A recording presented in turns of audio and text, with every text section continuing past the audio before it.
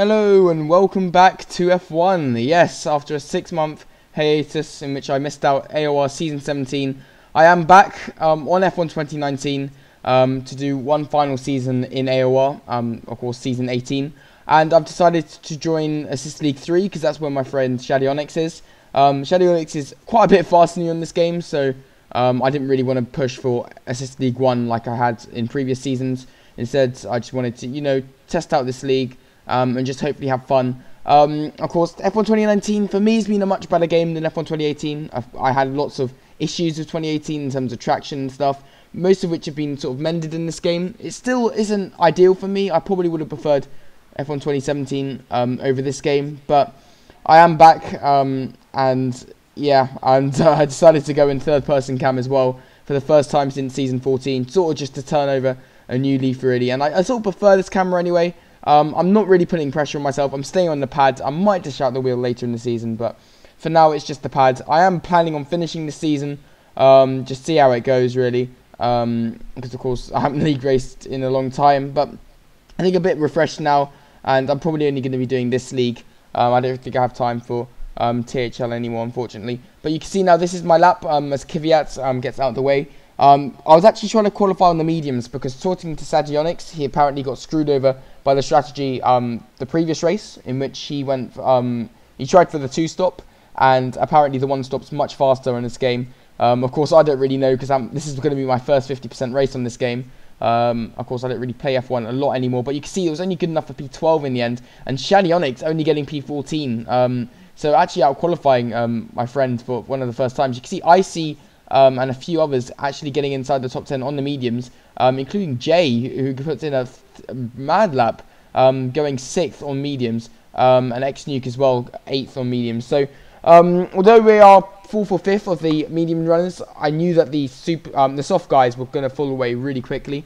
so they're pretty much going to lose a pit stop to us. So as long as we can get away through the pack, we do have a good chance of actually a top five, even starting from 12th. But here we are, lights out, and away we go um, for the first time um, on the new game and the first time in a while. Um, you can see up ahead there's already some crashes. Of course, turn one and China quite problematic. You can see we're trying to avoid everywhere. I think somebody went into the back of us. We managed to actually slowly break away through the traffic. Even so, we're going to get an illegal overtake on X Nuke. So we get let him pass, but then we're going to get him straight away again as he's blocked up by Suka Swagman. He tries to, I don't know what happened there. I think he lost traction, but he nearly collects us, and that was sort of heart and mouth moment. But after all that, I find ourselves in P6 after the first three turns. So that's, that's our position gain of six, which of course I don't know if you've um, if you've actually watched any of my other seasons, you'll know that I normally lose positions off the line. So um, yeah, a really good start as we go up into fifth now. Um, already sort of um, a gap forming between the top four and the rest. Of course, there's um I think the guy who I just overtook just dove into the pits.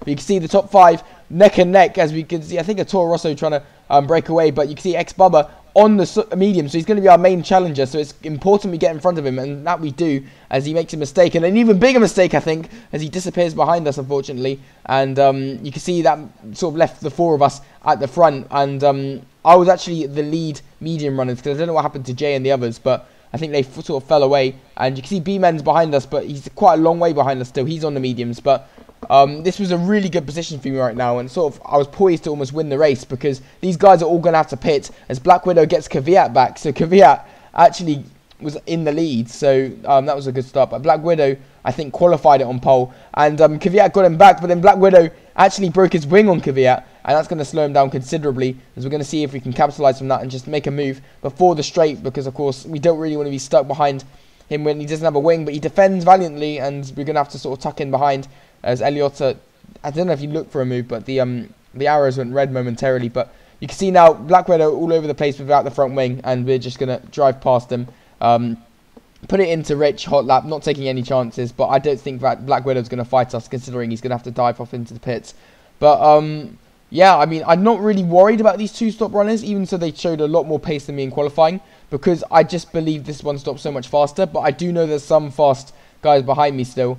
Um, so it's important I get past these guys as quickly as possible. As Kvyat's going to go defensive, but we're going to just be able to drive around his outside on these tyres. Even though they're the harder compound, the softs just falling away already on lap 5. So it just sort of shows that the two-stop, not the way to go. And we've gone from 12th to 1st um, in the first 5 laps. and um, you can see everyone else now in the pit, so it's only the medium runners um, at the front. So my suspicions were correct. Um, and uh, that's the other thing about Shadionix. Unfortunately, he disconnected um, before the race, and otherwise I probably would have been put on, under a lot more pressure by him, considering he is much faster than me. But yeah, this sort of reminded me of um, season 15. I remember when I had, um, I think I had, uh, I can't remember who my teammate was exactly, but um, I think he went from 12th to first on a similar strategy to this, and that was on F1 28, um, 2017, sorry. Um, so we're going to peel into the pets on lap 12. We were being put under pressure from our teammate Deadeye, but unfortunately he made a mistake and dropped back. And so I think it was just me and X Nuke up at the front. Um, but you, I think he pitted for the undercut as well. So we're going to come out now. Um, it, we're probably going to come out just behind Black Widow, um, who is on the two-stop strategy. Um, but we're going to hopefully take these tyres to the end. Um, even so, if we build up enough of a gap at the lead, I was hoping to do the two-stop just for the fastest lap, but we'll see how it is for now. But we look in a comfortable position as we're about to get Black Widow already. And um, yeah, just like that, we are back into the lead of the race, and we have no more stops to make. Black Widow still has a stop in his two-stop strategy, and um, my nearest rival right now is Icy, who also seems to be on the one stop. So I think he's managed to jump X Nuke, um, and I think Kvyat's also there as well. So those guys all on the um, on the one stop it seems, um, and um, yeah, just really um, trying to keep the gap to them. As Black Widow, unfortunately, not able to get us back there, so we're going to be home and dry it seems. And um, from here on out, I, I just knew it was going to be quite a quiet race as long as I kept it clean. Um, I was hoping to build enough of a gap. As you can see, Black Widow coming into the pits, but I knew he had so much pace on this two-stop that I wouldn't be able to cover him off. And um, the gap behind me wasn't that large. It was about 12 or 13 seconds, so definitely comfortable. But um, I knew it wasn't comfortable enough to go in for another pit stop and set fastest lap. So I was sort of leaving that to the guys behind me. Um, but yeah, I, even so, I was really hoping to set a quick lap, um, just to see if I could set a lap on these um, old old hards. But you can see um, going in hot lap and rich, and we're actually up on our best lap. But I think by this time the fastest lap was already about seven tenths up. So I, I knew there was a small chance I could get it, but um, with people pitting in the last few laps as well um, towards the back of the field, I knew it was probably unlikely um, that I'll get the extra points. But you can see we've got quite a, a nice gap behind us. Even um, so, I don't know if you saw when we entered the pits, we actually got a five second time penalty um, because we sped. Um, of course, just me being rusty, really, and of course, yeah, the the fact that I've not really played much since I sort of left league racing is sort of showing. But this has been quite a solid drive for the first race back. Um, sort of unexpected, really. I didn't really feel I'll be this far in front, but I think the strategies really helped me. And um, even so, I feel Assist League 3 is probably closer to my ability than Assist League 1 was. I think I was sort of helped by the fact that my teammate and a few others sort of had issues on, and otherwise their one-stop strategies would have been much more competitive. But again, you can see two um, green sectors, and we got on board the whole of this lap because this was actually my fastest lap of the race. Unfortunately, it wasn't quite purple.